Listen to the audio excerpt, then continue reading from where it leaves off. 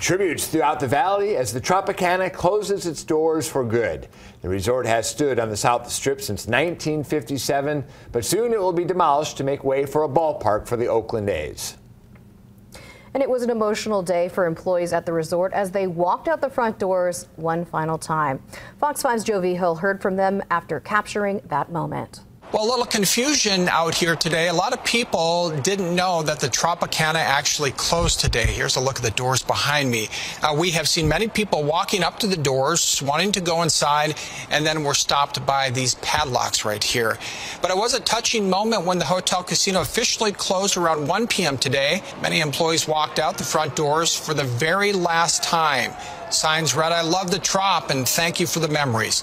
Today was a hard day for many employees. Several told me the Tropicana felt like home and they had to say goodbye to their family today after knowing and working with each other for years, even decades.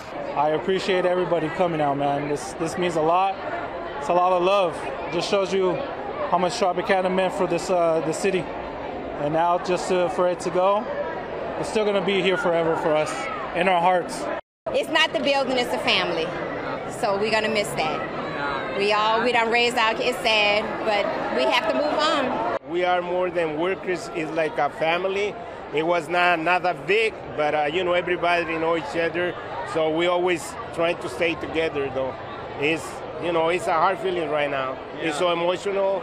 Now, some employees told me while this is a sad day, it is time to move on. Now, some tell me they're taking some time off, while others will be going to work at other casinos right away.